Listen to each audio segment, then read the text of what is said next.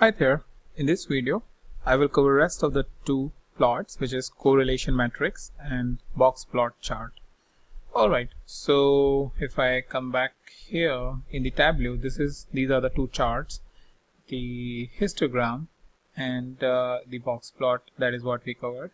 Now let's come back to the correlation matrix. So correlation matrix is nothing but the extension of the scatter chart that you showed but uh, since it has a lot of different variables the visualization becomes easy to understand whether variables are linearly correlated positive or negative or is there any sort of relationship present apart from linear relationship into the variable.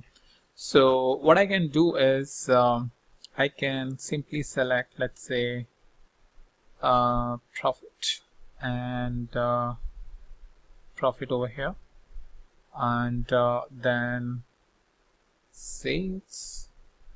And sales as you can see I'm selecting all of these same variable in both rows and columns sum of uh, quantity and and like now it has created a matrix kind of a structure. So we have uh, quantity and profit you know metric we have sales profit metric and then we have profit profit metric. Similarly we have sales sales metric sales quantity metric and similarly profit profit profit sales and profit quantity. So this is a simple uh, representation of correlation but uh, correlation matrix but it's it's really not uh, in the form because it has to has a proper scatter chart. So like I suggested in the previous video we go into the analysis and uncheck this aggregate measures. And now you can see it very meaningful uh, that first of all this this particular section will always be positively correlated. Why? Well pretty much we have already guessed it but if not the profit is we are checking profit with profit. So it has to be linearly correlated. Similarly sales we are checking with sales. Quantity we are checking with quantity. So since both and x, y, y axis is same, that's why they are linearly upward correlated. But if we see sales and profit, you know, we see some sort of a positive trend, both on the little bit on the positive side and on the negative side. But if I see profit with quantity, uh, it, it is not showing any sort of trend. It is showing us uh, straightforward, straight growth, not upward or downward, but a straight growth. Uh, so so what it is indicating that uh, irrespective of uh, what the quantity is, the profit is not changing much. So this way, if you have other different variables, say for example, even the discount, say for example, discount here and discount here, and what I'll do is from standard to fit width, and you can clearly see uh, whether there is any sort of relationship. So discount is also not showing any uh, signs, but uh, uh it is what it is indicating that on 0% discount is high, followed by 20% discount. But in case of 60% discount with the sales, the sales is really high over here. So not a, a positive, but a little bit of uh, linear trend, not a not so linear trend what it is showing, but it's kind of a very intuitive way uh, by which you can really analyze. So for example quantity and sales. We see a lot of quantity over here.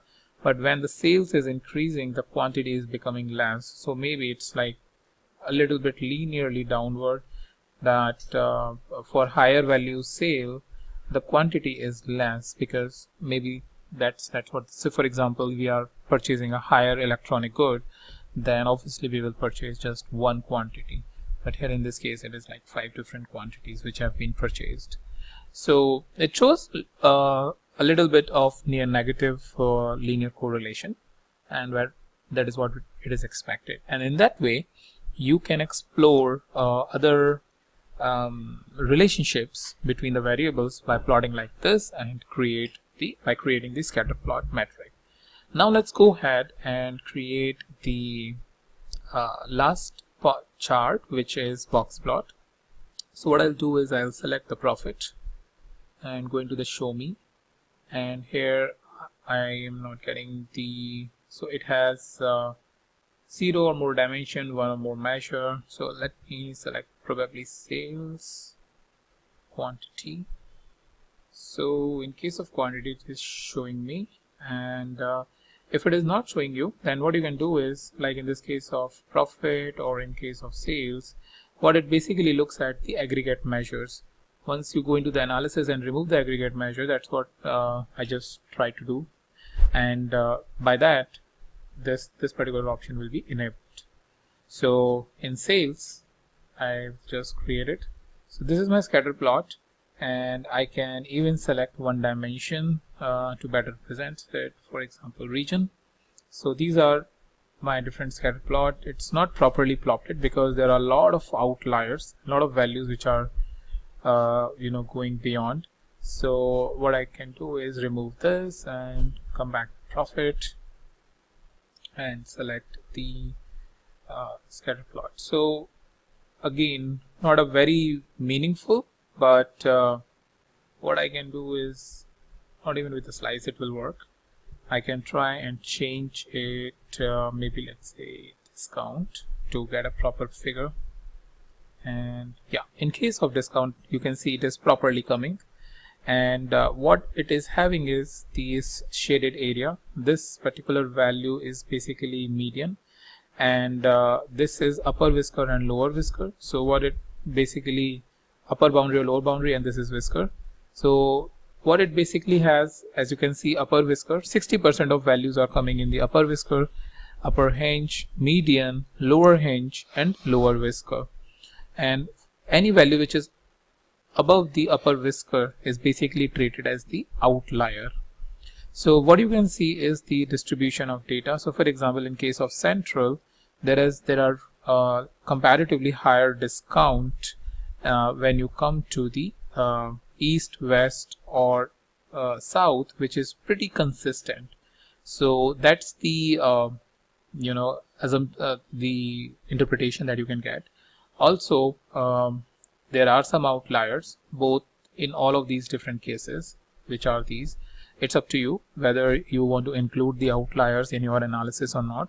Sometimes you exclude it because it influences it well and or sometimes you do the treatment probably you know make it under a certain value or average or based on what your analysis is saying. But the idea is that uh, you get this analysis uh, to to really understand how your data distribution is and now it is clearly indicating that in central uh, we are giving comparatively higher discount than any other one and we can then look into this treatment. And but we what we know is the central value will going to inflate uh, whenever we are doing any data modeling or statistical modeling. So that's about uh, the box and plot and uh, correlation metrics to visualize and get the idea from the data. And I will meet you in the new video, the new topic.